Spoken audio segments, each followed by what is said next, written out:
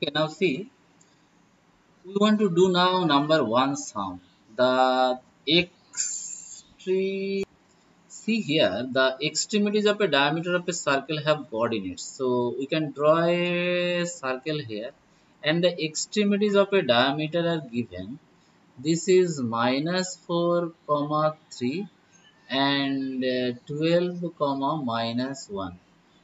Find the equation of the circle what length does it intersect on the y-axis? So two parts are there. First, let us find the equation of the circle. If end points are given of a diameter, then uh, equation is x minus x1 into x minus x2 plus y minus y1 into y minus y2 equal to 0. So this one you consider x1 y1 and this one you consider x2 y2. See here it is written also.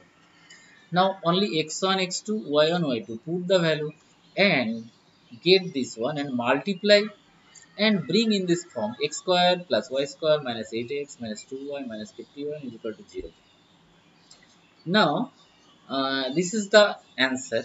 Next, we have to find y-intercept. Now, y-intercept formula 2 into root over of f square minus c. Now, what is f? What is c? To get that, this equation you have to bring in this way and you have to compare with x square plus y square plus 2gx plus 2fy plus c is equal to 0. This is called general equation.